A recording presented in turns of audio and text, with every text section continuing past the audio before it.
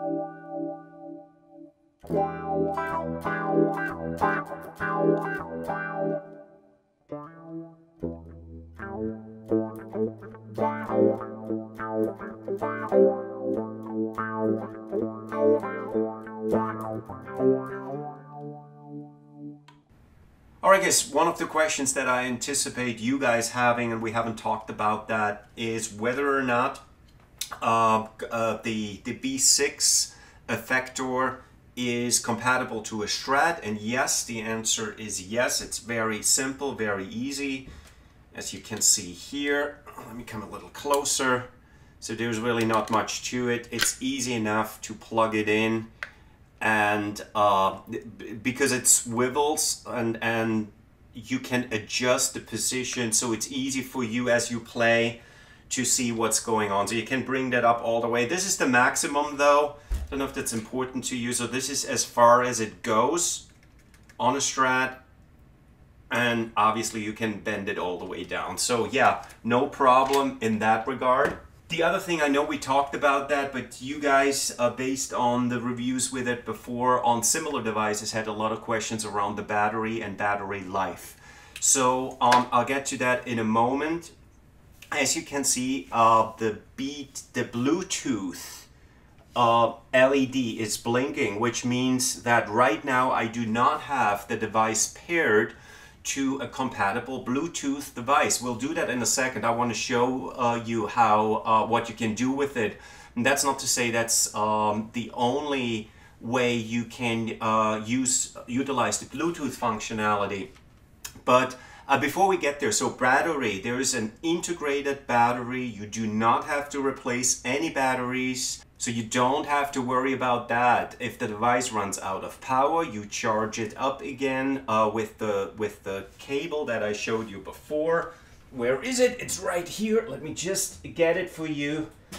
So you would just charge it via a regular USB cable that comes with the B6 effector. I cannot really meaningfully speak to battery life. All I can tell you is when I got the device, took it out of the box, I charged it for like 10 minutes or so. I probably didn't have to do that, but I thought, yeah, it might be a good idea to charge it at least a little bit, uh, which I did, and I haven't charged it since.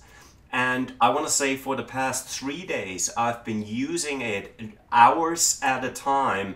For example, doing this video takes a lot of time uh, because I have to do a lot of takes and no problem whatsoever with the battery life. So I cannot give you scientific data in the sense of, yeah, it lasts for eight hours uh, at a time or 10 hours or two hours. I do not know but I, battery doesn't really seem to be an issue. And because it's so easy to recharge the device, I don't think you have to worry about it all that much. What we haven't talked about at all is Bluetooth, um, the Bluetooth technology. So right now that blue LED is blinking and which means the device is not paired. Let me just do that uh, quickly for you and with you here on camera.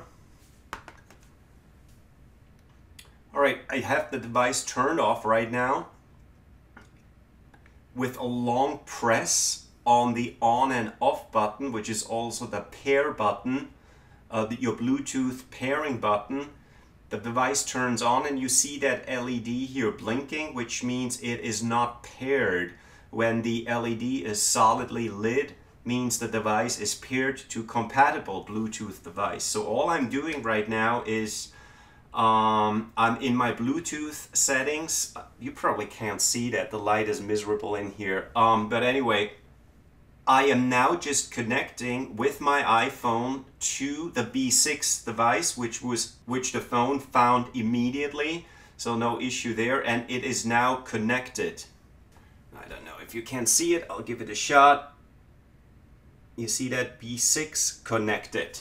So what I can do now is I can, for example, play uh, iTunes here, a, a song for my iTunes list. And via Bluetooth, I can listen to it. And you actually, you see the light has stopped blinking here, which means the device is now paired.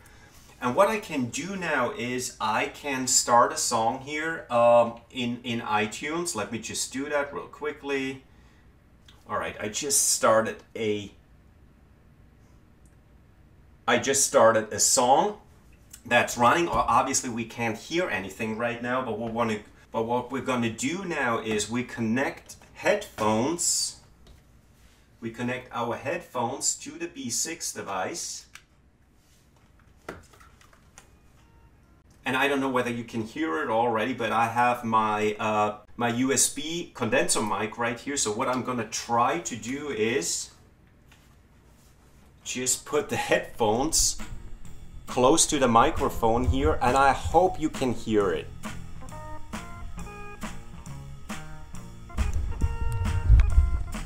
So again, what you hear right now is this connected via Bluetooth. There's no wires whatsoever. Going to the device and from the device to my headphones.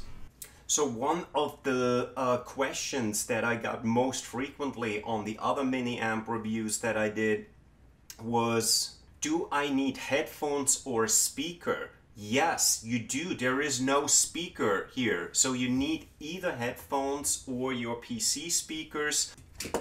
And again, for that purpose, it comes with this cable here, which plugs right into your, you know, headphone output here and then you can connect it. In my case, I had it connected to my Focusrite interface, but you have a ton of options with regard to that. So I hope we covered everything. I gotta tell you, I like it a lot. Um, I had it now for four days, I wanna say, used it uh, extensively over that time. Again, no battery issues whatsoever. So easy. You just, um, you know, I have that cable connected to my computer and then you just wait a little while. And I, again, I apologize. I haven't uh, done any tests how long it takes to recharge when once the device is empty. That might be an interesting metric, and I'm happy to uh, put that in the description uh, once that's available to me. But overall, I like it a lot.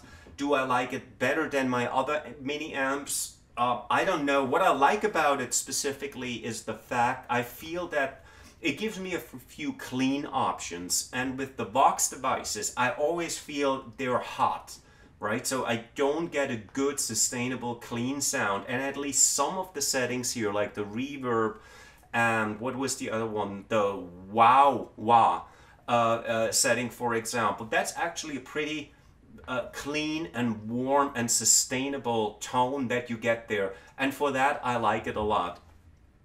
So definitely something I would like you to check out if you feel that is, if you're in the market uh, for, for such a mini amp.